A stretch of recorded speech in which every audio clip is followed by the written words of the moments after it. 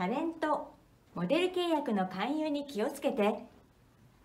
芸能事務所のオーディションだ。私も受けてみようかな。やった。合格だ。レッスン料すぐに払ってください。クレジットカードでいいですよだ。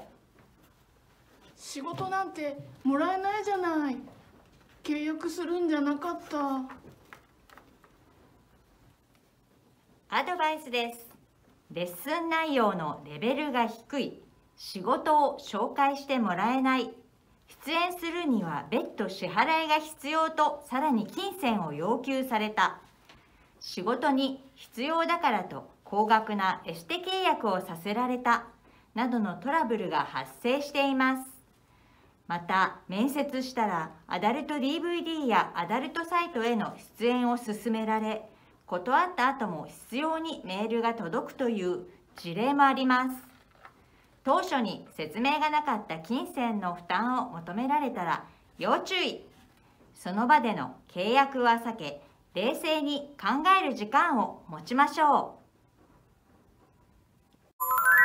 18歳は大人です。契約は慎重に。ご相談は消費生活センターへ。